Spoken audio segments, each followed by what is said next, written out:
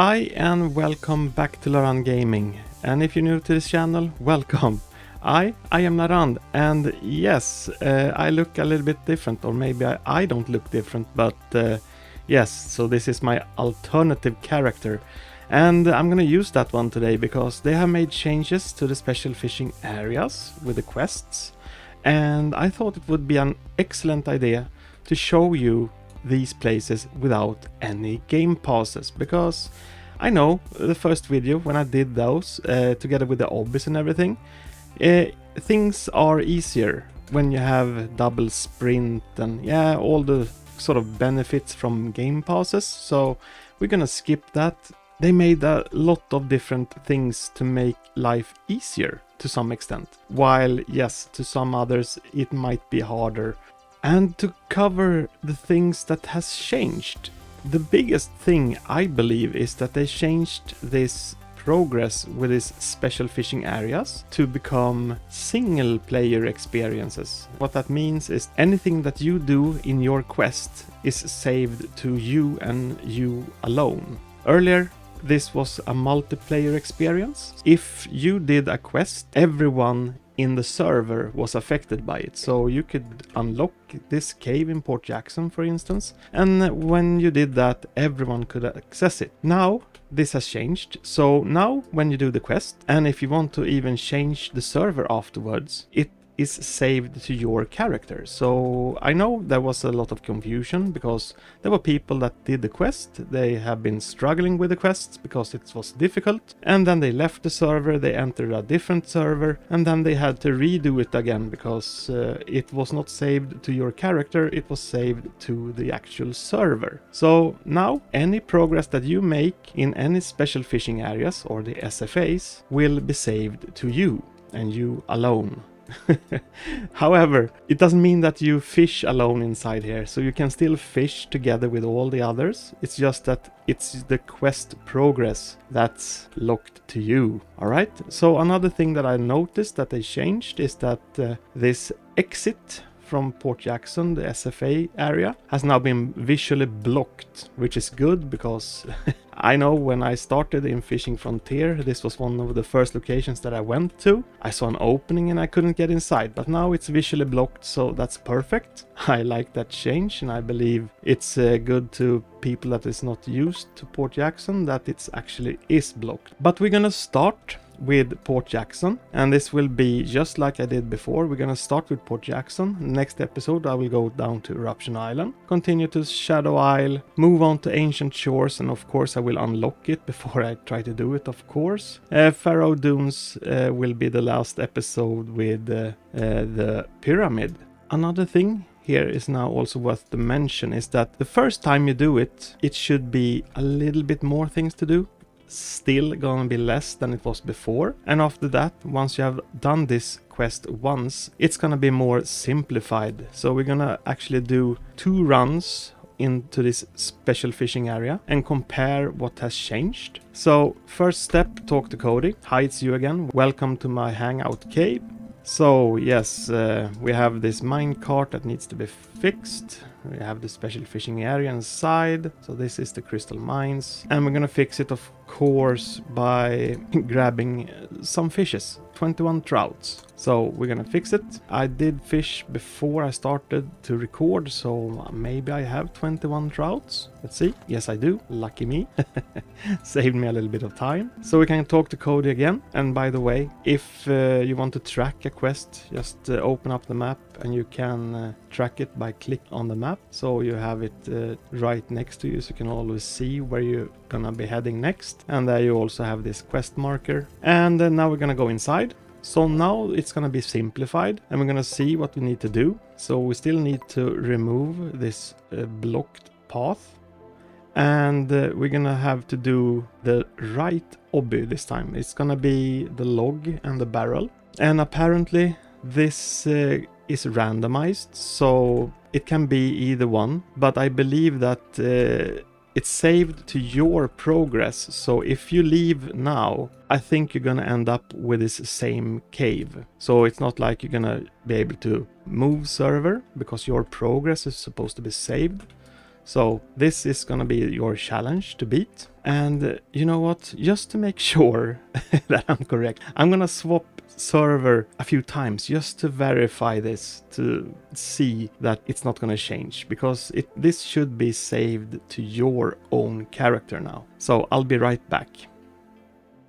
Yes, so I did a few jumps between servers and every single time I ended up with having to do this right side of the obby. So we're gonna go with that and I do believe that uh, because it's saved to your character now this opening will not change until you have to redo it again. Then it might be on the left side. So we're gonna have to see that uh, a little bit later, hopefully.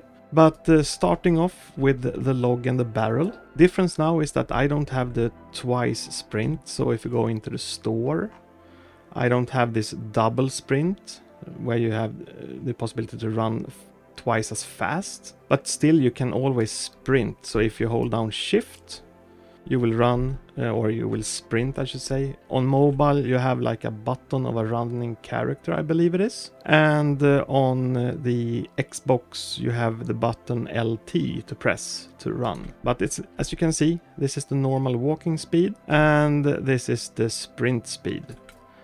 So let's see how challenging this is. So it's gonna be unedited. We're gonna see. So yeah, it requires a little bit of better timing you need to stand closer to the edge, I believe. Reposition yourself a little bit faster. Plan a little bit ahead. And uh, as you can see, I, I try to move as close as I possibly can without actually falling down. And uh, yeah, we have crossed it. And we can pull the lever. And as we can also can see, it only required one obby now, so that is simplified. You, it's like uh, half half of the obbies, basically, one out of two. And we can go back, and we have unlocked this special fishing area for Port Jackson. awesome. So that was run number one. And we're gonna go for a run number two, of course, to compare uh, how much simplified it's gonna be on the second attempt. Uh, I'm just gonna go to this special fishing area at the end, just to those that hasn't been here yet, just to show you all where it is. So we're gonna go with this minecart, full speed ahead, and the track ends over here. And I will th be thrown out and be ending up in the water. And here we have it, the special fishing area. Just one fish, because I don't think I have taken anything from this special fishing area before. You're gonna see. Oh yeah, that worked. got stuck on the rod. And it's a trout. Is it? No, that's the blind cave fish. Ah, okay. That's a good test. It didn't show anything in the developer console. Yeah, alright. Uh, throw a spear and maybe try again. okay, so that's a bad first attempt, I suppose. We're gonna see. Can we get the fish, please? Here we go, janitor. Yes, a janitor fish. Perfect. And here is also the exit. And here we go. Now we can also see that this uh, obstacle is gone. And you can actually go back inside here. I don't think we could do that before. So that's actually also very good because I remember when I went out here and I had to go back with the minecart and everything. So that's a good uh, enhancement that I like. I'm gonna use that a lot, or at least a few times. Something else to remember, when this timer is taking down, it goes one hour, and uh, if you leave, the timer will stop. So you can basically leave anytime you want and you can continue in this special fishing area whenever you feel like. So you don't have to redo the quest just because you left the server. And that that is very good. Okay, so now it's time for round two. We have had this first SFA and it was closed and I had to wait a while so I got a new quest pop up and uh, now we can choose quest available here again and this will be the second round and we will see the difference and we can already see actually the difference. Now it doesn't seem like I have to talk to Cody anymore meaning that I don't have to collect any more fish. That is awesome. That That's actually really good. That's a relief. And oh, yes, we are super lucky this time. So, round number two, we're gonna go to this first obby, the left one. So, let's go inside and have a look. Yes, and this might be the difficult obby, I believe, because, uh, yeah, first time I did this SFA, I wasn't aware of that these uh, lily pads, they could actually sink. I was just running through it like I do with everything, so what happens is when you stand on it, it sinks and it resets you back to the beginning. But I also believe that this first jump is the hardest one on this entire obby. So I think it's, uh, even though this one is difficult, I'm still very happy that it's the first one because just imagine if that was the last one instead. So you had to do the entire obby and then do this tricky lily pad. Then it will be much more difficult. And, well, to pass this one without uh, the twice sprint game pass, we're gonna see how that goes. First attempt, I'm gonna try to make a double jump. So I'm gonna jump, touch the leaf, and I'm gonna jump again, and from here somewhere, I'm gonna jump over, see how that goes. That didn't work. okay, we're gonna try again. That was close, so I could pass. Uh, so it's very tight. I can see that right away. So if I run, yeah, I can understand why people feel like it's difficult. But you have this ledge, you can reach that fairly easy. We're gonna do this a couple of times. But really, you can't do the jump from up here, because if you do that, I don't really think you're gonna be able to reach. So you need to reach as far as possible on the lily pad when you reach it. Otherwise, I think you might be in trouble. But I do think also that if you make this double jump, so directly when you touch the lily pad, you jump directly again. I think that that is a pretty good solution if you think this is difficult. And we continue. Uh, and here we just have to touch it uh, just once very quick so I don't really think that's a difficult part. Uh, this one I actually failed once because I didn't really see a water line here so I was touching this part and uh, that made me reset. It's a fairly long jump, but uh, yeah, as long as you sprint, shouldn't really be a problem.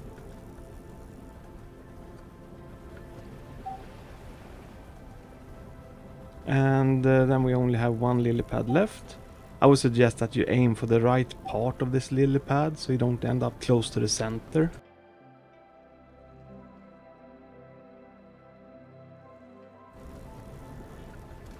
And then you have reached the lever. And that's how you do it. So now the SFA part is much quicker in Port Jackson.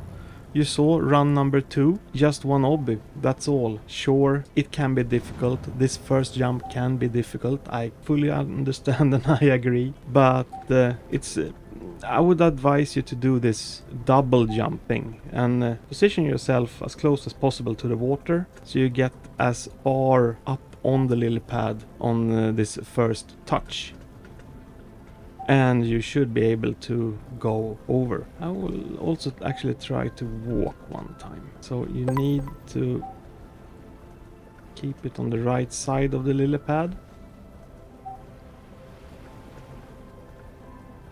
But as you can see, it's uh, yeah, it's just a matter of practice. And you need the right timing, you need to learn the timing.